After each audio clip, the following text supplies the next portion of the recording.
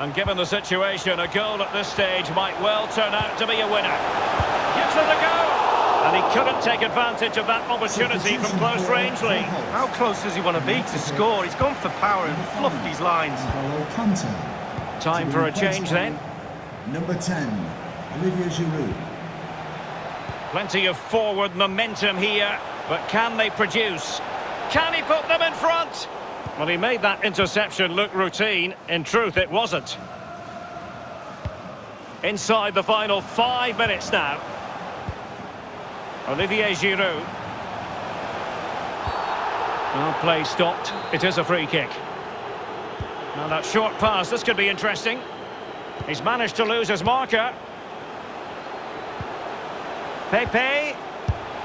This is why we adore this game. Late drama, they're in front.